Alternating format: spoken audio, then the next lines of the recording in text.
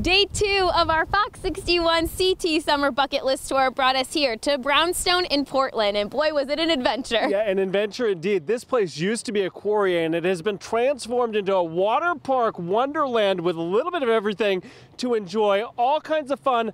Life jackets are a must, and up first, conquering the zip line. I have people ask what the record is per day. You know, people go back up again and again and again. It's just super fun to do.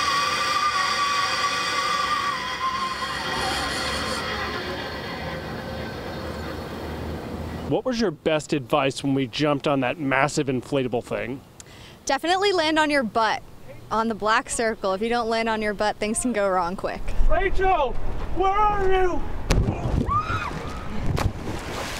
Tickets here to Brownstone Rach running you 39 to $59. It really depends on how much you want to do. And Keith, one of those things that you can get into is that right behind us, jumping nearly two stories into the water. We're up do next.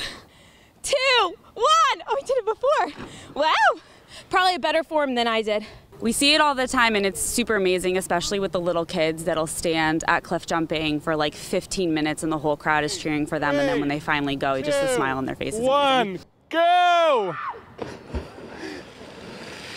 You can come check Brownstone out seven days a week, 10 to 6. All right, and join us tomorrow, day three of the tour. We are checking out ice cream all across the state. I get to do one final jump. See you later. Keith, you better not be late. In the meantime, I'm Rachel Scatelli. That's Keith McGilvery, Fox 61 News. See you tomorrow.